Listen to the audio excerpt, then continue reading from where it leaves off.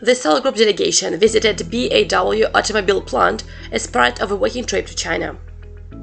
There is already an interest in the application of Slavyanka technology here.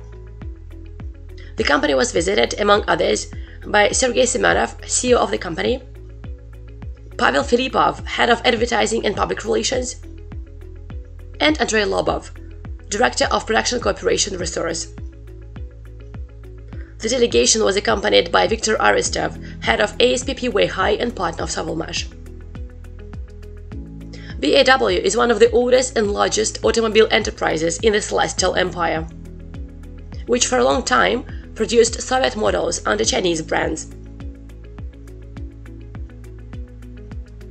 A few years ago, in Qingdao City, the plant created a modern automated line for the production of electric cars. The management of the plant and party leaders of Shandong province were interested in the application of Slavyanka technology at the enterprise and began to cooperate with Viktor Arestov.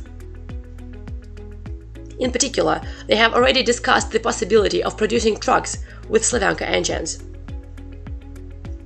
Preliminary tests of the engine were conducted back in winter. The excursion for the guests from Russia was conducted by Dia Haifeng, vice president of the plant. The guests saw the production facilities and visited the museum of the plant. All without exception were impressed by the deserted shops where cars are produced by robots. The guests also inspected the electric trucks, on which it is planned to install the Slavyanka engines.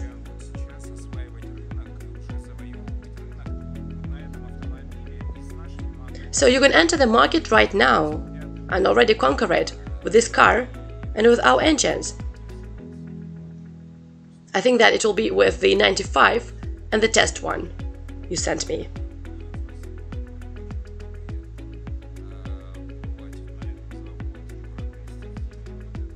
Thank you, Victor. It was a pleasure to visit this factory and test this particular car.